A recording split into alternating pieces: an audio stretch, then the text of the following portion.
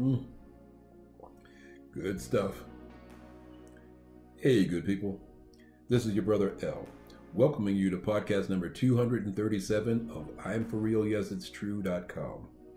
And for those of you who, are, who have been on this journey for almost three years with me, God bless you. And a special welcome to those of you who are new here.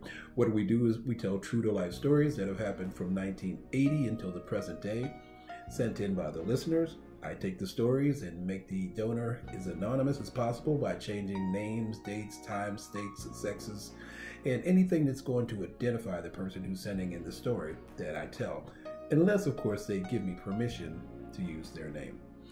Anyway, I want to move on and jump into today's story and today's podcast, number 237, which I've entitled Different Moms. As a matter of fact, this is going to be a very, very brief one, as I just wanted to make one or two points. And today is April 4th, I believe. No, I'm sorry. April 2nd, Palm Sunday, one week before Easter. Now, by next week being Easter, of course, we know that uh, it's the day that we know as Christians that uh, Jesus was resurrected from the dead after three days of hanging on the cross, coming from Good Friday. Now, without these events, what we believe would be meaningless. Let us not forget this week to pray in thanks to our Heavenly Father for Jesus' sacrifice. All right? Oh, for those of you who are new here, you'll see me occasionally looking down because I'm reading some notes that I've gathered so that I don't run by my points and miss anything. Since this podcast is so brief, um, I occasionally need to uh, keep a few notes on hand. Now I'll be brief. Okay. What happened today, and here's where the story begins. I wore on a previous podcast, it you may have seen, a beautiful gray printed shirt that was given to me by one of my brothers in Christ. His name is Mr. Ron Price. I saw he had one, commented on how nice I thought it looked, and he blessed me with one. And I wore it today, and the technicians in the sound and lighting booth at my church commented on it. One said that he even thought it looked dapper, which is a term I haven't heard in a while, but I'll take it as a compliment. Praise God.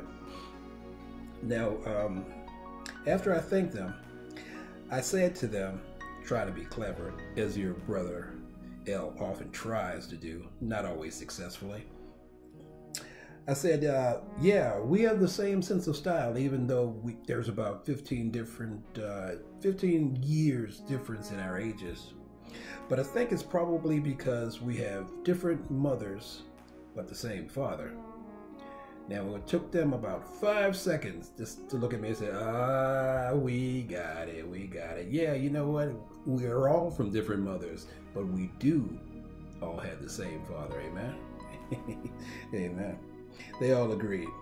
And they thought it was halfway clever. Anyway, well, what the Bible says about that is uh, in Isaiah chapter 67, uh, verse 7 Yet, Lord, you are our Father. We are the clay, and you are our potter. We are all the work of your hands. Amen. Also, in chapter 3, verse 1 of John, it says, See what love the Father has given us, that we should be called children of God.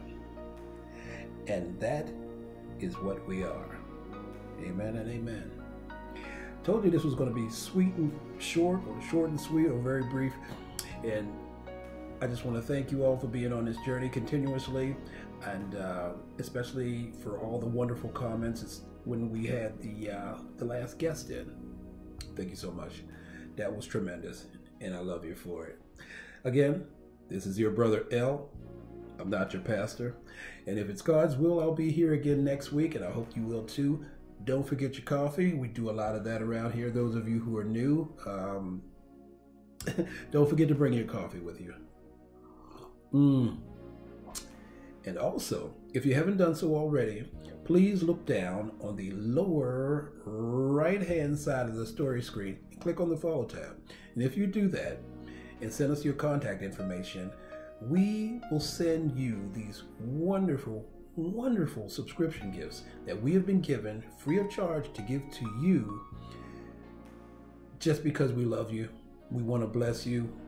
And um, that offer is especially for you newbies, ones who are new here that haven't already received these. Now, the ones who've been on this journey for a while, if they've given me their info, they've already received these gifts. But if you want more, we have plenty.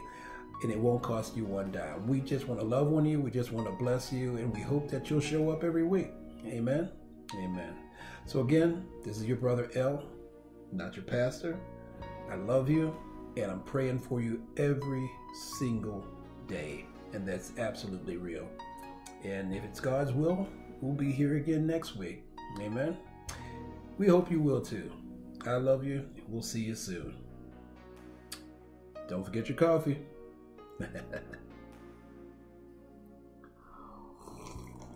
mm. Good stuff.